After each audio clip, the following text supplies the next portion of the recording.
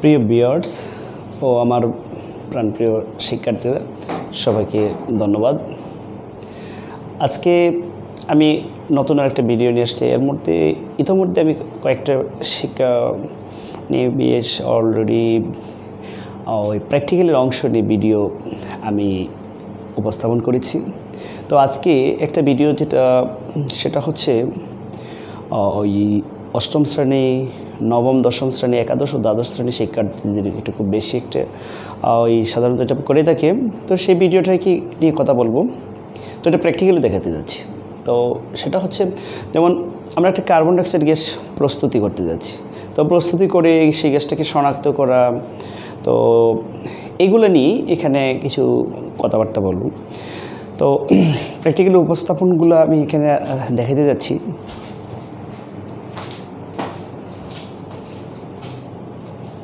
হ্যাঁ প্রিয় viewers and my students please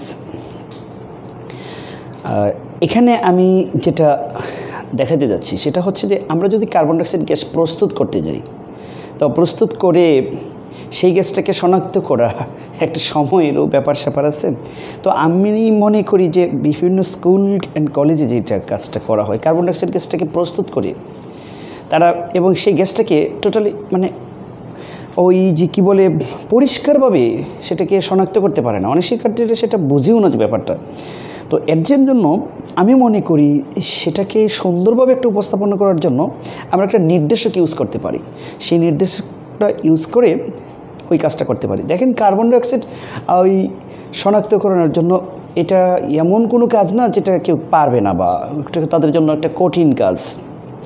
তো আমরা একটা কি করতে পারি যে আমরা জানি কার্বন ডাইঅক্সাইড চুনের পানিটাকে কি করে?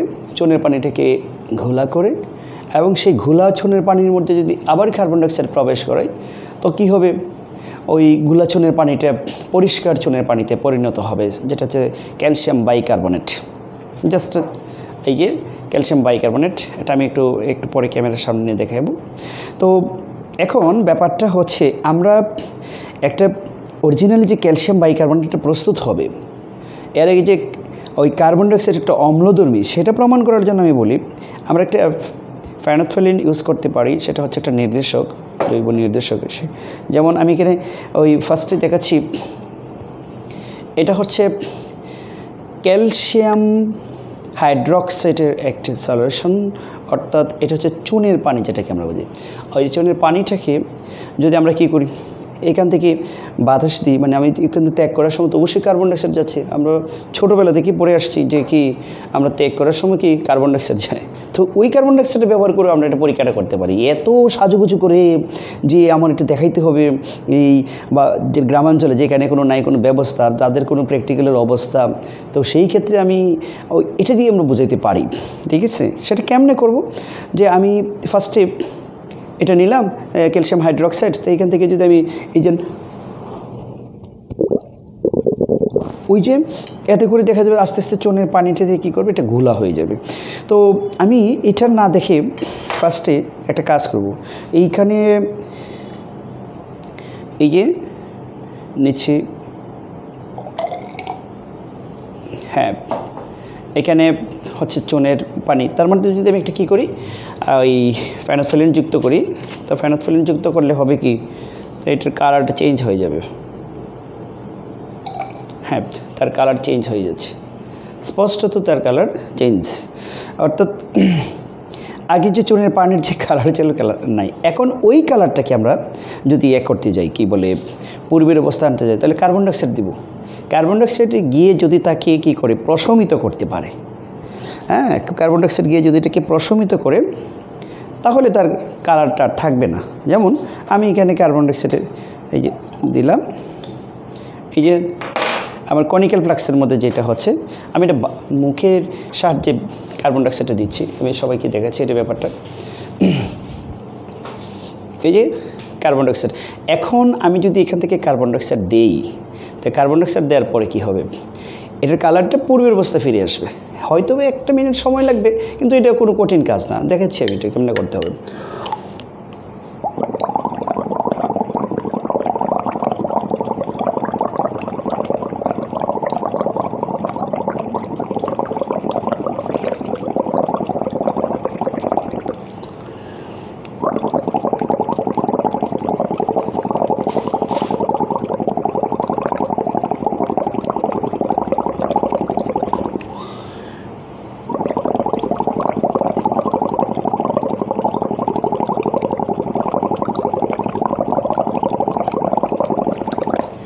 হ্যাঁ এই যে ক্যালসিয়াম, এখন কি হয়ে গেছে? আগে ছিল তার যে কালারটা, বেগুনি কালারের মতো ছিল সেই কালারটা কিন্তু এখন আর নাই।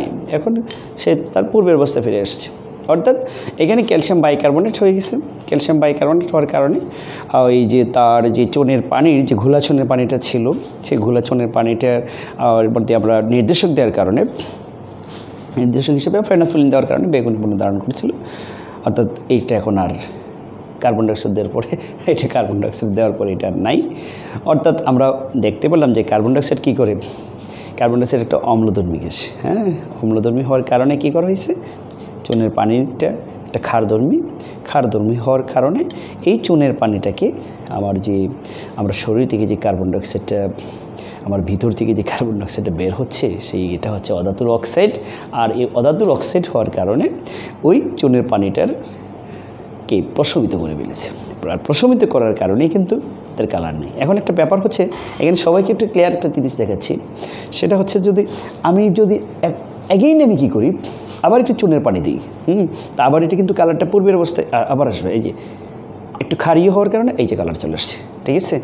এখন এই কালার চলে আসলো, আমি কি করব? আবার কার্বন ডাইঅক্সাইড দেবো। আবার কার্বন ডাইঅক্সাইড দিলে আবার সে পূর্বের অবস্থায় ফিরে যাবে। হ্যাঁ এই যে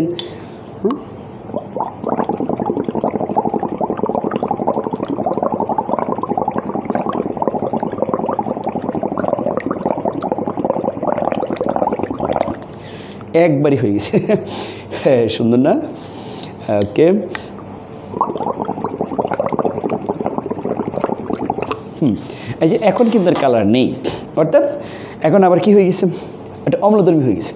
অর্থাৎ অম্লীয় দ্রবণে ফ্যানোথিলিন সে কোনো কালার দেবে না। কিন্তু ক্ষারীয় দ্রবণে তার একটা নিজস্ব কালার থাকবে। আমরা যদি ক্ষারীয় এই দ্রবণটাকে আবার ক্ষারীয় করতে গেলে অ্যাগেইন যদি আমি আবার কি করি এই চুনের পানিতে, এই যে সুন্দর সুন্দর একটা কালার হয়ে গেছে। হ্যাঁ এটাকে আমরা আবার কাজ করতে পারব? অর্থাৎ এই একটা বিষয়, এখন ব্যাপারটা হচ্ছে আমরা যদি এটা এইভাবে না করি, যে ইউনিভার্সাল ইন্ডিকেটর ইউজ করতে পারি, তো ইউনিভার্সাল ইন্ডিকেটর জিনিসটা কী সেটাও তো আমাদের একটা বুঝতে হবে। ইউনিভার্সাল ইন্ডিকেটর হিসেবে আমরা এ- এইটাই ব্যবহার করতে পারি, এটা হচ্ছে একটা ওই piece meter and digital meter তো এটাও ইউজ করতে পারি। ছোট হইলেও এই যেটা ইউজ করতে পারি, এখানে একটা সুইচ থাকবে। এই এটা দিলে পরে এখানে তার ডিজিট আসবে, তার পিস মান কত। এটা আরও বিভিন্ন মডেল ভালো ভালো মডেলের আছে এগুলো। এটা হচ্ছে ডিজিটাল ব্যবস্থা। আর কিন্তু গ্রামাঞ্চলের স্কুলগুলো তো এটা আর পাবে না, যার কারণে এটা আমরা ইউজ করতে পারি। এই যে এইগুলো ইউজ করতে পারি। আমি ক্যামেরার সামনে দেখাইতেছি এটা। এই যে এই ক্ষেত্রে এখানে কালার চার্ট আছে কালার চার্টের কাজ হচ্ছে এখানে দেখা যাচ্ছে স্পষ্ট যেমন হ্যাঁ কয়েকটা কালার আছে। এই যে, এখান থেকে এখানে কালারগুলো হ্যাঁ। অর্থাৎ ক্ষারীয় দ্রবণের ডুবানোর পরে যেটা একটা ব্যাপারটা হচ্ছে আমি এইটা আমি একটু ডুবাই দেখাচ্ছি। এই যে, নিলাম। এটার এখানে যে টোটাল কালার হবে এখানে আছে কয়টা? চোদ্দোটা কালার আছে। ওই চোদ্দোটা কালার মধ্যে আমি দ্রবণে ডুবানোর পরে সে যে রঙটা হবে সেই রঙটা এখানে থাকবে। হ্যাঁ? তখন ওইটার সাথে ম্যাচ করে আমি বলতে পারব এটার পিস মানে তো। আমরা পিস মানটা এটা একটু দেখে নিচ্ছি এই দ্রবণের পিস মানটা কত। তো যেমন এইটার ক্ষেত্রে এটার পিস মানটা একটু দেখি। হ্যাঁ, স্পষ্টত আমরা দেখলাম এটার পিস মানটা একেবারেই ক্ষারীয় দ্রবণ হ্যাঁ? যে এই যে কালারটা আমি একটু দেখেছি হ্যাঁ এই যে কালারটা, তো এই কালারটার সাথে এখানে একটা ম্যাচ করব। তার এই যে লালগুলোর সাথে, অর্থাৎ অ্যাসিডের সাথে কিন্তু মিলে না, ঠিক আছে? সে মিলতেছে কতর সাথে? এটার সাথেও না, এটার সাথেও না, এটার সাথেও না, ওইটার সাথে একটু মিলে যাচ্ছে। হ্যাঁ তাহলে দেখলাম টুয়েলভ পয়েন্ট বা হ্যাঁ টুয়েলভ একেবারে লেভেল টুয়েলভ এস। তাহলে সাধারণত চুনের পানি টুয়েলভ বা টুয়েলভ পয়েন্ট সামথিংই থাকে, আমরা এটা জানি। এখন এটার ক্ষেত্রে যে এই দ্রবণটা যেটা আছে এটা কিন্তু আমরা জানি যে ক্ষারীয় দ্রবণের ক্ষেত্রে কিন্তু সেই কালারটা হয়েছে আর এটাকে যদি আমি কি করি, আবার এই যে আমি কার্বন ডাইঅক্সাইড দিলাম আমার না, শুধু আপনাদের সবার, আমার স্টুডেন্টদের যারা আছে দেখবে, তারা সবারই কার্বন ডাইঅক্সাইড কিন্তু অম্লধর্মী। আর অম্লধর্মী হওয়ার কারণে এই ক্ষারীয় দ্রবণটাকে আমরা যে কার্বন ডাইঅক্সাইডটা দিব, সেই কার্বন ডাইঅক্সাইডটাকে কী করবে? প্রশমিত করবে। আর প্রশমিত হওয়ার দ্রবণের পরে এই যে কোন একটা কালার হয়েছে সেই কালারটা কিন্তু আর পাবো না। যেমন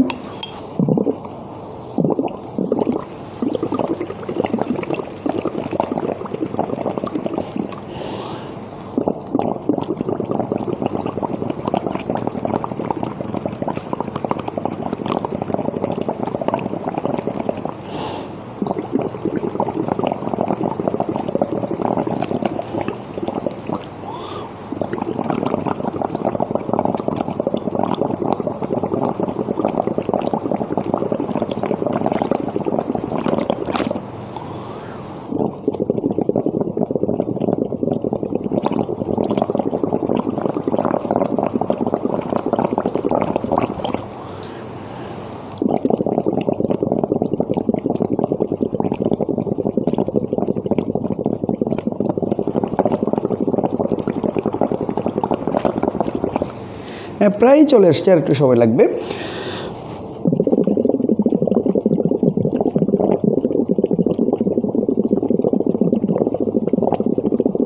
হ্যাঁ আমি নিশ্চিত এখন আর এই কালারটা নেই। সেম আগের কালার ফিরে এসেছি।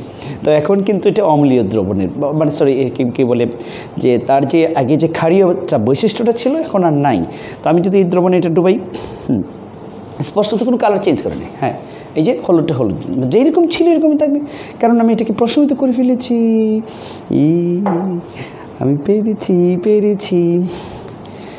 আচ্ছা ব্যাপারটা খুব সুন্দর না? হ্যাঁ সুন্দর।